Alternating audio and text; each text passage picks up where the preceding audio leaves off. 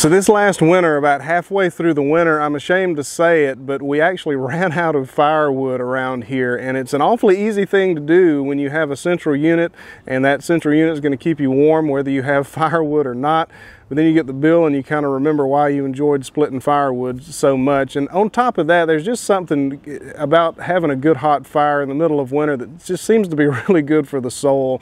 But I don't plan to ever let that happen again. And that was kind of why we made all this effort to get these logs out of the out of the um, the creek bottom today. So these logs are some really nice white oak logs. They came down in a hurricane about four and a half years ago, and you can see they do have some rot around the sapwood and there's some heart rot in them as well, but for the most part, there is a ton of really nice firewood in these logs. Around here, white oak is probably about the best option for firewood because it burns hot, it burns slow, it doesn't leave a whole lot of ash, gives you a really nice bed of coals.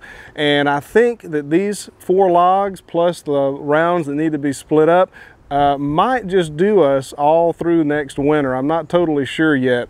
And uh, right now we're about a month out from Easter and the rule of thumb here is if you can get your firewood stacked and put up by Easter, uh, you're probably pretty good for next winter. And these logs will need some drying. Even though they've been down for so long, they are still pretty wet and uh, they will certainly not burn very well the way that they are.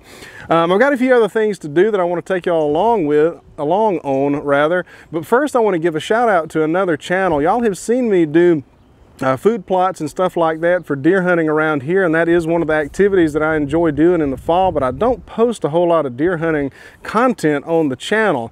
But I have a friend whose channel is dedicated to deer hunting. His name is Clay. He has a channel called Out Here Outdoors and a few weeks ago uh, he asked me to uh, film the story of my favorite deer hunter, a significant deer hunt that I've had. And I did that and he posted it on his channel.